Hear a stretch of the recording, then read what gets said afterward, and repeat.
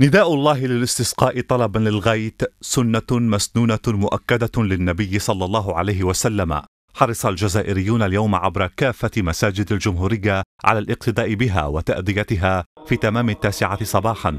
وهو الوقت الذي حددته وزارة الشؤون الدينية.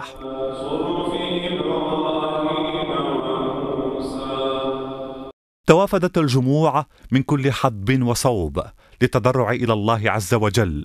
ومناجاته بغيت مغيت نافع لا ضر فيها. بعد قحط وجدب أصاب الأرض وهي صلاة تعكس مدى انغماس المسلمين في دينهم الذي يحاكي حياتهم اليومية كونه منهج حياة لا دين عبادة فقط.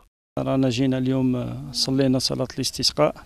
إن شاء الله ربي يرحمنا بالغيث النافع اللي ما يضرش و ويحفظ الوطن تاعنا و... فعندما نصلي هذه الصلاة نظهر فيها خشوعنا وتضرعنا إلى الله وحاجتنا إليه سبحانه وتعالى. جينا نصلوا إن شاء الله صلاة الاستسقاء.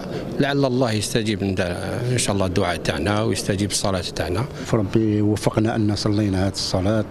إن شاء الله ربي ينزلنا علينا الغيث. بعد تأدية الصلاة توحدت الخطبة على أسباب انحباس المطر وحث المسلمين على تقليب حال القلوب والتآخي.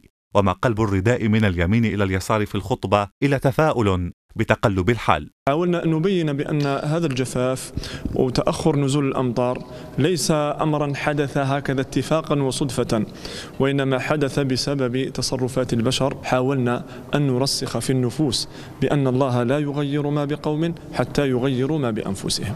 تعددت صور تضرع طلب الغيث في وجوه الناس والرجاء واحد نزول الغيث والله على كل شيء قدير.